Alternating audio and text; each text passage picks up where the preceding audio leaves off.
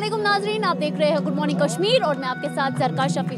नाजरीन जैसा कि आप जानते हैं, आज 21 दिसंबर है, यानी कि चुले कलान का पहला दिन। और इसी दिन पे आज जो है इंटरनेशनल फेरन डे भी मनाया जा रहा है, जो कि कश्मीर में पहली बार मनाया जा रहा है। यानी कि एक नया इतिहास आज बनने वाला है, जहाँ पे आज जो है इंटरनेशनल फेरन डे मनाया जा रहा है, जो कि एस के आई सी सी श्रीनगर में मनाया जा रहा है। आप देख सकते हैं किस तरीके से उस ट्रेडिशनल फेरन को आज प्रमोट किया जा रहा है डिफरेंट डिज़ाइंस में।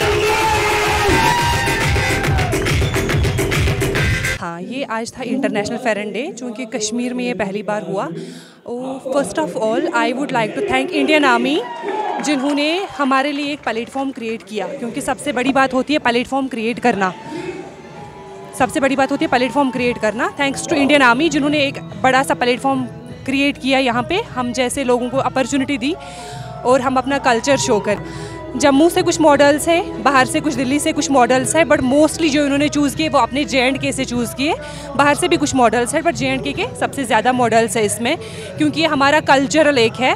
तो आगे हम रिक्वेस्ट करते हैं कि आगे भी ऐसे प्लेटफॉर्म दे हमारे लिए हाँ मोस्टली हमने इसी के लिए कि, कि अपने कल्चर को प्रिजर्व करने के लिए आगे हम गुजारिश करते हैं कि हमें ऐसे मौके दें सो so दैट कि हम अपने कल्चर को ऐसे प्रिजर्व करें एक ऐसे मास लोगों तक एक मैसेज पहुँचे।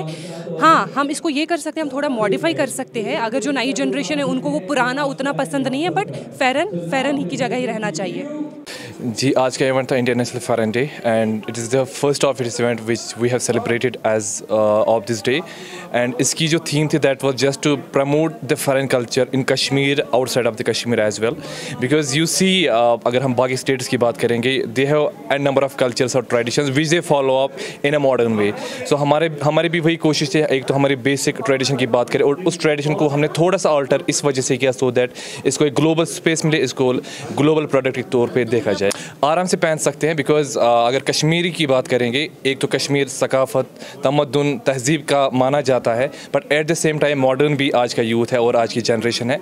सो so, ये एम एल एलगमेशन ऑफ़ दो चीज़ें हैं. एक तो modern tourist along with traditional tourist so obviously people will follow up and will definitely where them see the message is very clear like we have already set for the start of the event and we are already saying that the message is to promote your own culture to go to go for like why why do we go for the foreign Like to, to make it global.